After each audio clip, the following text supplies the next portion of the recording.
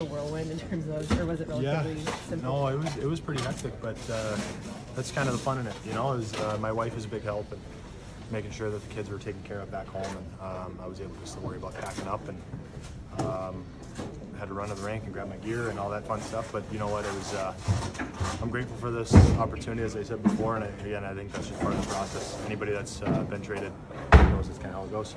I know you weren't happy with the result tonight, but what did you think overall of how you played in your first game? Uh, I, I don't think I played very well tonight. I thought my hands were terrible. I, I mishandled pretty much every puck I touched, but um, I just try to skate and, and try to create some opportunities.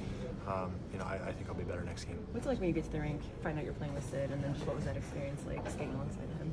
Yeah, it was great. Obviously, I mean, the type of player he is goes goes without saying. He's, un, he's an unbelievable player. Um, you know, he's an unbelievable humble guy on the bench, just talking through some things and um, just trying to, again, just trying to play the game. You know, tonight was uh, a bit of a whirlwind, so it was just trying to play the game and um, just try to help out anyway. Um, you know, again, I think it'll be a little bit better next game. Do you think the Penguins' style and the speed group, you know, that they play with will benefit your game? I do, I do. I think uh, it was great to, uh, you know, I think I was thinking a little bit tonight with, with some of the system things, but um, overall, I think if, if I use my speed and, and, uh, and skate and, and try to create some, some chances offensively, but create turnovers defensively and, um, you know, get, get some pressure on their defense, I think it'll be good.